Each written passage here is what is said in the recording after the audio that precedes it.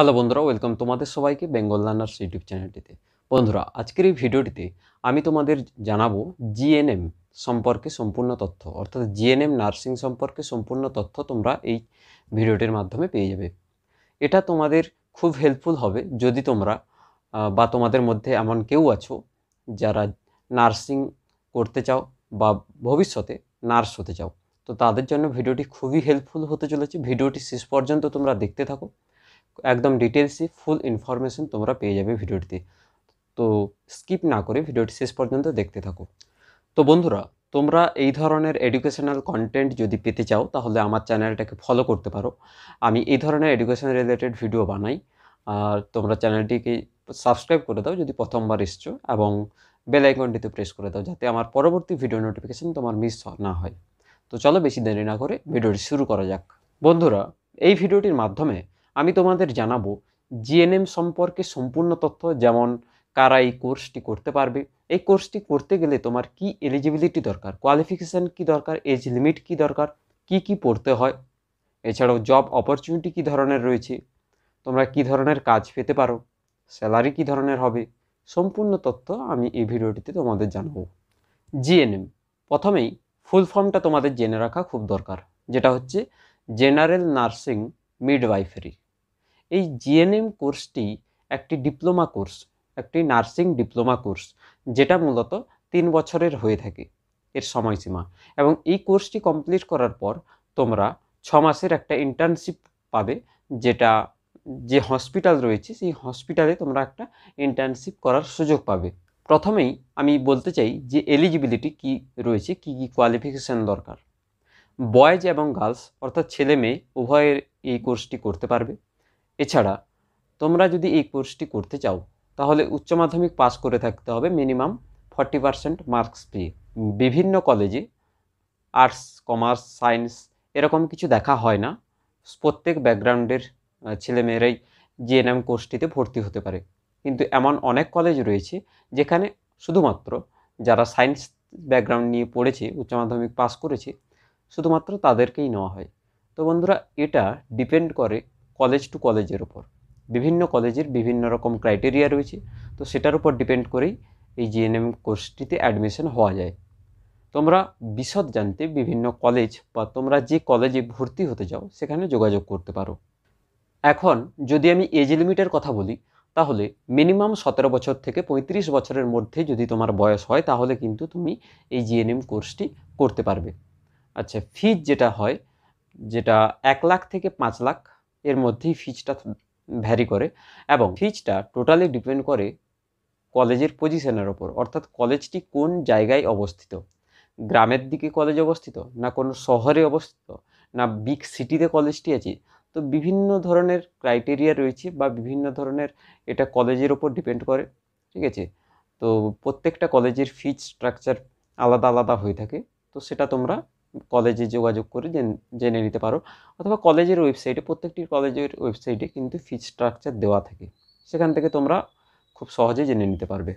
এরপর কোশ্চেন আসে যে কোথায় জব পাওয়া যাবে এই জিএনএম কোর্সটি করার পর। জিএনএম কোর্সটি করার পরে তোমরা বিভিন্ন government hospital private hospital NGO রয়েছে। এছাড়াও রুরাল হেলথ সেন্টারগুলোতে তোমরা জব পেতে পারো। এছাড়াও বিভিন্ন ধরনের nursing home old age home ঠিক আছে? এই ধরনের যে সংস্থাগুলো রয়েছে, সেখানে তোমরা অনায়াসে জব পেতে পারো। এবার বলি যে জব প্রোফাইল কী হবে? যদি তোমরা জব পাও, তাহলে তোমার জব প্রোফাইল হবে, সেটা ডিপেন্ড করছে যে তোমরা জুনিয়র নার্স থাকছো, এরপরে সিনিয়র নার্স হবে এবং সার্টিফাইড নার্সিং এটাও একটা পজিশন রয়েছে। এছাড়াও স্টাফ নার্স এই ধরনের বিভিন্ন ধরনের পজিশন রয়েছে, এটাও প্রত্যেকটা হসপিটাল প্রত্যেকটা নার্সিং হোমের যে যে পজিশনটাতে পায়, সে সেভাবে এবং এটা এক্সপিরিয়েন্সের সঙ্গে সঙ্গে তোমাদের পজিশন কিন্তু চেঞ্জ হতে থাকবে। ঠিক আছে? বন্ধুরা, এরপর আলোচনা করব স্যালারি স্যালারি কী ধরনের তোমরা পাবে জব পেয়ে গেলে? স্যালারিটা ডিপেন্ড করে তোমার এক্সপিরিয়েন্সের ওপর। যত এক্সপিরিয়েন্স তোমার বাড়তে থাকবে, তত তোমার স্যালারিও কিন্তু বাড়বে। তো প্রথমত যেটা বেসিক স্যালারি হয় ফ্রেশার্স সেটা পনেরো হাজার থেকে কুড়ি হাজারের মধ্যেই ভ্যারি করে। এবং স্যালারিটা ডিপেন্ড করে হসপিটাল টু হসপিটাল অর্থাৎ তুমি যে ক্লিনিকে স্যালারিটা পাচ্ছ, অথবা যে নার্সিং হোমে তোমাকে স্যালারিটা দেওয়া হচ্ছে, তো সেই ক্লিনিক বা নার্সিংহোম বা হসপিটালের উপরে কিন্তু এই টোটাল স্যালারিটা ডিপেন্ড করছে। তো বন্ধুরা, এরপর আমরা আলোচনা করব যে কি কি পড়তে হয়। বেসিক্যালি এখানে থিওরি পেপারটা বেশি থাকে। তোমাদের থিওরি প্রচুর পরিমাণে পড়তে হবে এবং ভালো নলেজ গেইন করতে হবে। বিভিন্ন ধরনের সাবজেক্ট থাকে, যেমন ফিজিওলজি নিউট্রিশন বায়োকেমিস্ট্রি সোসিওলজি এই ধরনের বিভিন্ন ধরনের সাবজেক্ট রয়েছে। তো প্রত্যেকটি সাবজেক্টকে তোমাকে কেয়ারফুলি পড়তে হবে। ঠিক আছে? এরপর আসি যে প্র্যাকটিক্যালের কথা। এ তোমরা জানো যে এটা একটা স্কিল ওরিয়েন্টেড সাবজেক্ট তো এখানে প্র্যাকটিক্যাল নলেজটা কিন্তু খুব ভালোভাবে ডিপেন্ড করছে তোমার এই নার্সিং কোর্সটিতে ঠিক আছে? এখানে প্র্যাকটিক্যালটা হবে ওয়ার্ডে গিয়ে রিয়েল পেশেন্টের উপর। তো তোমাকে নলেজেবল থাকতে হবে, তোমার স্কিল ভালো থাকতে হবে, ঠিক আছে? সিরিয়াস থাকতে হবে তোমাকে এবং প্র্যাকটিক্যালগুলো ভালো করে শিখতে হবে। কেননা এখানে তুমি একটা পেশেন্টের ওপর পরীক্ষা নিরীক্ষা করছ, ঠিক আছে?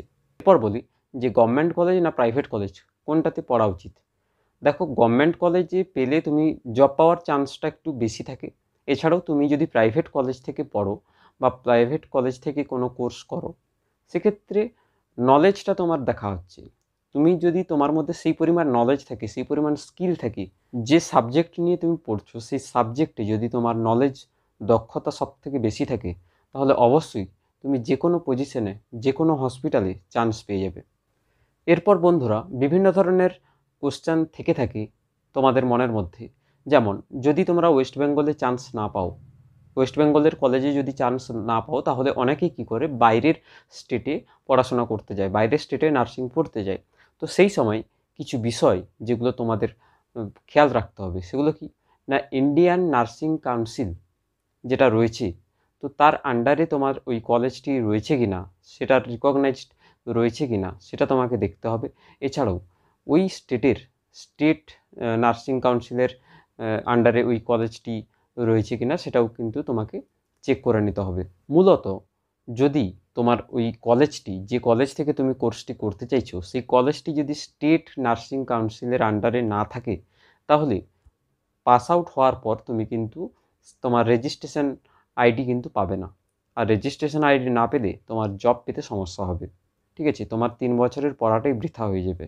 এছাড়া তুমি যদি ভাবো বা তুমি যদি চাও জিএনএম কোর্সটি করার পরে তুমি যদি চাও টিচিং লাইনে যেতে, অর্থাৎ তুমি নার্সিং টিচার হতে চাও, তাহলে এই জিএনএম কোর্সটি করে তুমি কিন্তু টিচার হতে পারবে না। এর জন্য তোমাকে গ্র্যাজুয়েশন করতে হবে এবং গ্র্যাজুয়েশনে করার পরে হায়ার এডুকেশন করতে হবে, যেমন মাস্টার ডিগ্রি করতে হবে এই নার্সিংয়ের উপর। তারপরেই কিন্তু তুমি ভালো অর্গানাইজেশনে as a nursing teacher join করতে পারবে। শুধুমাত্র জিএনএম করে কিন্তু নার্সিং টিচার হওয়া যায় না। ভালো অর্গানাইজেশনের কথা বলছি। এছাড়াও জিএনএম কোর্সটিতে যদি তোমরা ভর্তি হও, তাহলে যে কলেজের আন্ডারে থাকবে, সেই কলেজে তোমরা হোস্টেলও পেতে পারো। হোস্টেলটা ডিপেন্ড করছে প্রত্যেকটি কলেজের উপর।